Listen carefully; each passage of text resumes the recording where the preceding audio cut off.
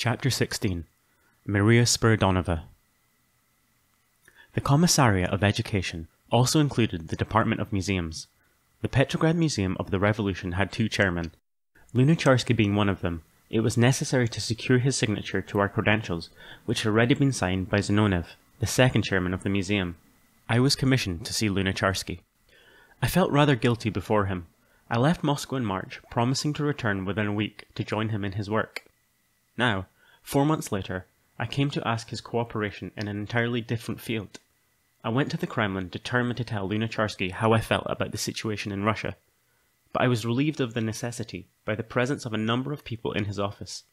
There was no time to take up the matter. I could merely inform Lunacharsky of the purpose of the expedition and request his aid in the work. It met with his approval. He signed our credentials and also supplied me with letters of introduction and recommendation to facilitate our efforts on behalf of the museum. While our commission was making the necessary preparations for the trip to Ukraine, I found time to visit various institutions in Moscow and to meet some interesting people. Among them were certain well known left social revolutionists whom I had met on my previous visit. I told them then that I was eager to visit Maria Spiridonova, of whose condition I had heard many conflicting stories. But at that time no meeting could be arranged. It might have exposed Spiridonova to danger, for she was living illegally as a peasant woman. History indeed repeats itself. Under the Tsar, Spiridonova, also disguised as a country girl, had shadowed Lukyanovsky, the governor of Tambov, of peasant flogging fame. Having shot him, she was arrested, tortured, and later sentenced to death. The Western world became aroused, and it was due to its protest that the sentence of Spiridonova was changed to Siberian exile for life. She spent 11 years there. The February Revolution brought her freedom and back to Russia. Maria Spiridonova immediately threw herself into revolutionary activity. Now, in the Socialist Republic, Maria was again living in disguise after having escaped from prison in the Kremlin. Arrangements were finally made to enable me to visit Spiridonova, and I was cautioned to make sure that I was not followed by Cheka men. We agreed with Maria's friends upon a meeting place, and from there we zigzagged a number of streets till we at last reached the top floor of a house in the back of a yard. I was led into a small room containing a bed, small desk, bookcase, and several chairs. Before the desk, piled high with letters and papers, sat a frail little woman, Maria Spiridonova. This, then, was one of Russia's greatest martyrs, this woman, who had so unflinchingly suffered the tortures inflicted upon her by the Tsar's henchmen. I had been told by Zorin and Jack Reed that Spiridonova had suffered a breakdown and was kept in a sanatorium. Her malady, they said, was acute neurasthenia and hysteria. When I came face to face with Maria, I immediately realized that both these men had deceived me. I was no longer surprised at Zorin. Much of what he had told me I gradually discovered to be utterly false. As to Reed, Unfamiliar with the language, and completely under the sway of the new faith, he took too much for granted. Thus, on his return from Moscow, he came to inform me that the story of the shooting of prisoners en masse on the eve of the abolition of capital punishment was really true. But, he assured me, it was all the fault of a certain official of the Cheka, who had already paid for it with his life. I had the opportunity to investigate the matter. I found that Jack had again been misled. It was not that a certain man was responsible for the wholesale killing on that occasion. The act was conditioned in the whole system, and the character of the Cheka. I spent two days with Maria Spiridonova, listening to her recital of events since October 1917. She spoke at length about the enthusiasm and zeal of the masses, and hopes held out by the Bolsheviki, of their ascendancy to power and the gradual turn to the right. She explained the Brest-Litovsk peace, which she considered as the first link in the chain that has since fettered the revolution. She dwelt on the Rastrevska, the system of forcible requisition, which was devastating Russia and discrediting everything the revolution had fought for. She referred to the terrorism practiced by the Bolsheviki against every revolutionary criticism to the new communist bureaucracy and inefficiency, and the hopelessness of the whole situation. It was a crushing indictment against the Bolsheviki, their theories and methods. If Spiridonova had really suffered a breakdown, as I had been assured, and was hysterical and mentally unbalanced, she must have had extraordinary control of herself. She was calm, self contained, and clear on every point. She had the fullest command of her material and information. On several occasions during her narrative, when she detected doubt in my face, she remarked, I fear you don't quite believe me. Well, here's some of what the peasants write me. And she would reach over to a pile of letters on her desk and read to me passages heartrending with misery and bitter against the Bolsheviki. In stilted handwriting, sometimes almost illegible, the peasants of the Ukraine and Siberia wrote of the horrors of the Razverstka and what it had done to them and their land. They had taken everything away, even the last seeds for the next sowing. The commissars have robbed us of everything. Thus ran the letters. Frequently, peasants wanted to know whether Spiridonova had gone over to the Bolsheviki. If you forsake us, Matushka, we have no one to turn to, one peasant wrote. The enormity of her accusations challenged credence. After all, the Bolsheviki were revolutionists. How could they be guilty of the terrible things charged against them? Perhaps they were not responsible for the situation as it had happened. They had the whole world against them. There was the Brest peace, for instance. When the news of it reached America, I happened to be in prison. I reflected long and carefully on whether Soviet Russia was justified in negotiating with German imperialism.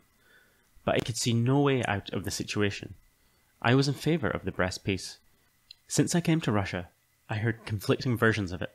Nearly everyone, excepting the communists, considered the Brest Agreement as much a betrayal of the revolution as the role of the German socialists in the war a betrayal of the spirit of internationalism.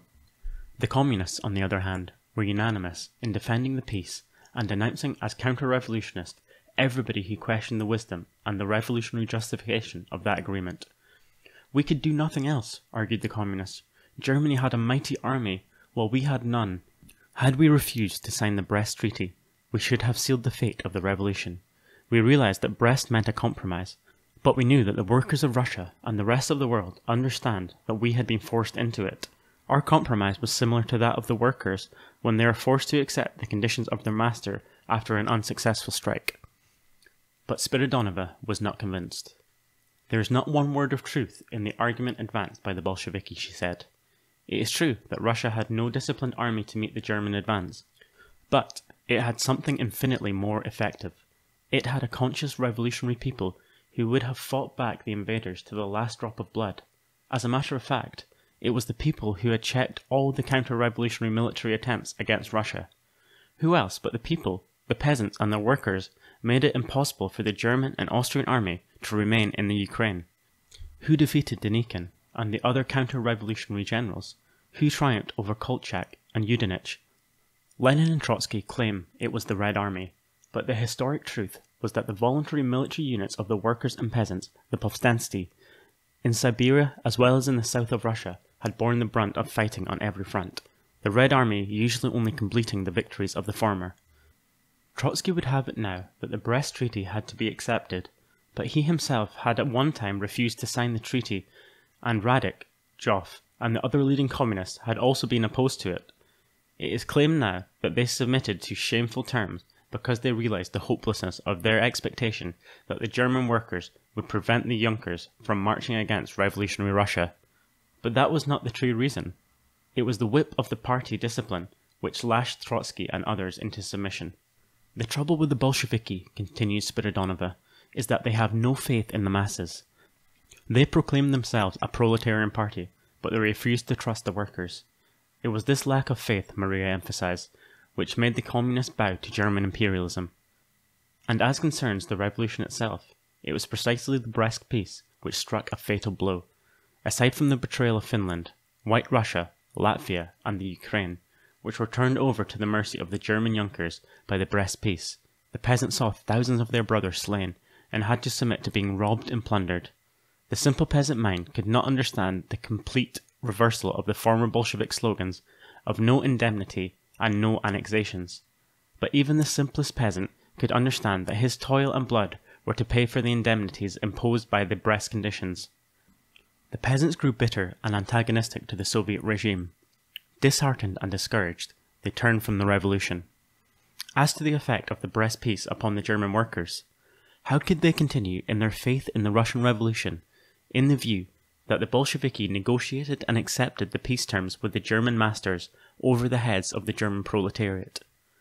The historic fact remains that the Brest Peace was the beginning of the end of the Russian Revolution. No doubt other factors contributed to this debacle, but Brest was the most fatal of them. Spiridonova asserted that the left socialist revolutionary elements had warned the Bolsheviki against the peace and fought it desperately. They refused to accept it even after it had been signed. The presence of Mirbach in revolutionary Russia they considered an outrage against the revolution, a crying injustice to the heroic Russian people who had sacrificed and suffered so much in their struggle against imperialism and capitalism. Spiridonova's party decided that Mirbach could not be tolerated in Russia. Mirbach had to go. Wholesale arrests and persecutions followed upon the execution of Mirbach the Bolsheviki rendering service to the German Kaiser. They filled the prisons with Russian revolutionists. In the course of our conversation, I suggested that the method of Razverstka was probably forced upon the Bolsheviki by the refusal of the peasants to feed the city. In the beginning of the revolutionary period, Spiridonova explained, so long as the peasant Soviets existed, the peasants gave willingly and generously. But when the Bolshevik government began to dissolve these Soviets, and arrested 500 peasant delegates, the peasantry became antagonistic. Moreover, they daily witnessed the inefficiency of the communist regime. They saw their products lying at side stations and rotting away, or in possession of speculators on the market. Naturally, under such conditions, they would not continue to give. The fact that the peasants had never refused to contribute supplies to the Red Army proved that other methods than those used by the Bolsheviki could have been employed. The Razverstka served only to widen the breach between the village and the city. The Bolsheviki resorted to punitive expeditions which became the terror of the country. They left death and ruin wherever they came. The peasants, at last driven to desperation, began to rebel against the communist regime. In various parts of Russia, in the south, on the Ural, and in Siberia, peasants' insurrections have taken place, and everywhere they were being put down by the force of arms and with an iron hand. Spiridonova did not speak of her own sufferings since she had parted ways with the Bolsheviki, but I had learned from others that she had been arrested twice and imprisoned for a considerable length of time. Even when free, she was kept under surveillance, as she had been in the time under the Tsar. On several occasions, she was tortured by being taken out at night and informed that she was to be shot, a favoured Cheka method. I mentioned the subject to Spiridonova.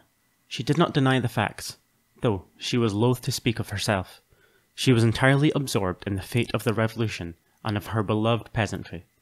She gave no thought to herself, but she was eager to have the world and the international proletariat learn the true condition of affairs in Bolshevik Russia. Of all the opponents of the Bolsheviki I had met, Maria Spiridonova impressed me as one of the most sincere, well poised, and convincing. Her heroic past and her refusal to compromise her revolutionary ideas under Tsar as well as under Bolshevism were sufficient guarantee of her revolutionary integrity.